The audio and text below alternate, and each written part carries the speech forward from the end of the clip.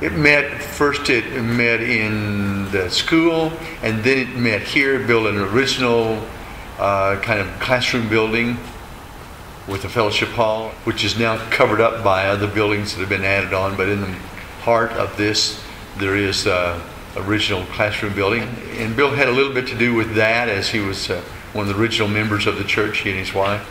Some of the angles that are in this building were in those classrooms, but they're now they're all kind of covered up. Uh, tell me about Bill Hanton and his design. Well, Bill Hanton was a local Tulsa architect. He was an active member of this church. He and his wife were.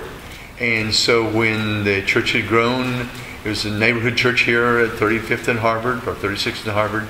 And at, uh, as it grew and needed a sanctuary, why uh, they went to Bill and asked him if he would be the architect for it.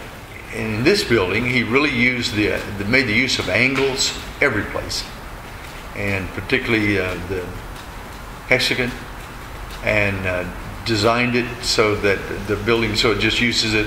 The floor pan is a, a hexagon. The, the uh, he used a design of uh, what kind of a, shield uh, look that's all around the building. It's a six-sided figure. Uh, the things on the chancel or on the stage of the church are all designed in that way. The altar table is designed with those angles in it.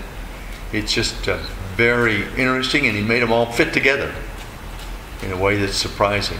One interesting thing he did about it, the the uh, you know, cross is a center part in any church building, and at the end of the back end of the pews are crosses, and but at the front uh, of the church, uh, there's usually a cross, and there's a cross that is in a very interesting way. It's a it's two six-sided, two hexagons made into a cross.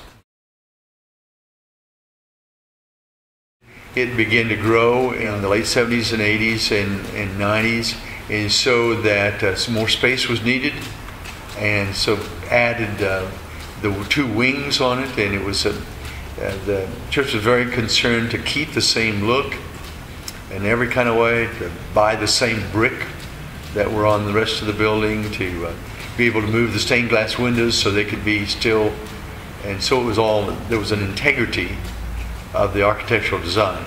Larry Johnston was the architect on the expansion, and he was able to keep that look very, very clearly. It, it complemented Bill Hanton's earlier design, but complemented this Frank Lloyd Wright kind of use of angles.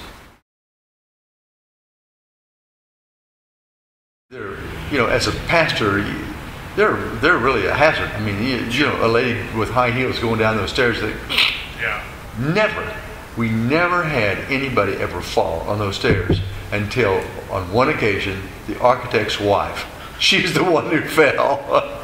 Didn't hurt herself, but she fell down the stairs. she was the only one. Only one.